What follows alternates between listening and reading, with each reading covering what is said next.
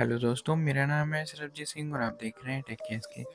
दोस्तों, आज मैं आपको बताऊँगा कि Vivo T three five G में आप ऐप्स कैसे हाइड कर सकते हैं। तो चलिए दोस्तों, बिना किसी देर के वीडियो शुरू करते हैं। तो इसके लिए आपको सबसे पहले फ़ोन की सेटिंग्स में जाना है। सेटिंग्स में जाने के बाद आपको यहाँ पर सिक्योरिटी पर क्लिक कर देना है। इसके बाद आपको app and sorry privacy and app encryption पर क्लिक करना है। पिन सेट कर लेना है यहाँ पर। फिर से पिन एंटर करना है। और दोनों सिक्योरिटी क्वेश्चन में जो भी एंटर करना कर सकते हैं और डन पर क्लिक कर देना है। इसके बाद ऐप हाइडिंग पर क्लिक कर देना है। व्यू हिडन ऐप्स को यहाँ से ऑन कर देना है। वेरीफाई प्राइवेसी पासवर्ड को भी ऑन कर देना है। इसके बाद आपको जिस भी ऐप को हाइड करना है, आपको उसे ऑन करना है और ओके पर क्लिक कर देना है। ऐप हाइड हो जाएगी।